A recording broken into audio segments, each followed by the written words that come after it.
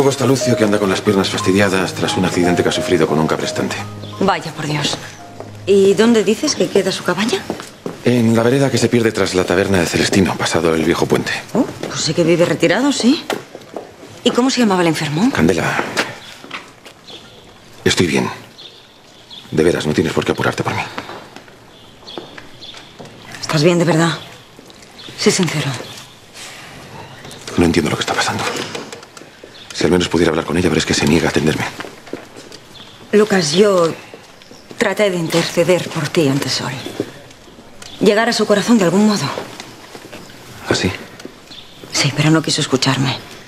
Se reafirmó en su voluntad de permanecer junto al liceo y por poco no me echa de su alcoba con cajas destempladas.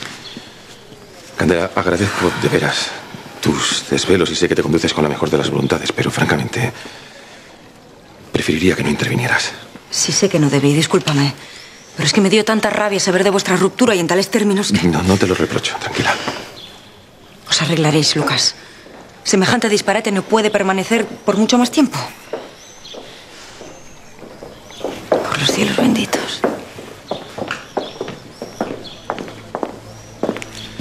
Candela, Lucas, muy buenas tardes.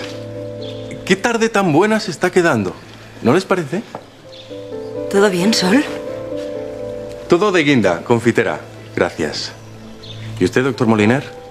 ¿Cómo se encuentra? Mejor, confío. Tente, Lucas. No vale la pena. Con vuestro permiso, tengo un montón de pacientes que atender esta mañana.